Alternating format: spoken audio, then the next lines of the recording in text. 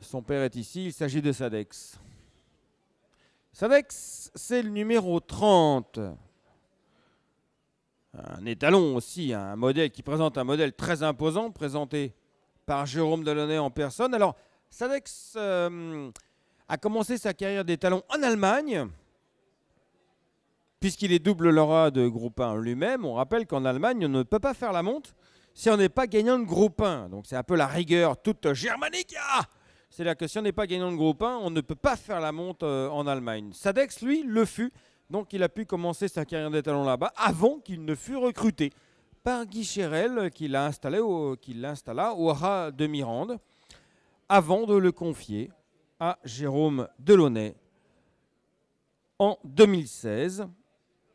Pendant ce temps-là, il a fait donc cette pas de deux, ce pas de deux, double gain de groupe 3 en Allemagne en 2015.